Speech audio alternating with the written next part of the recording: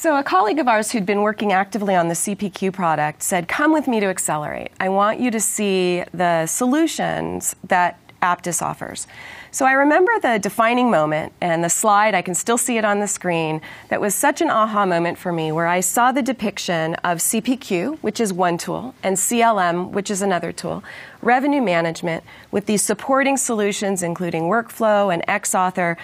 all together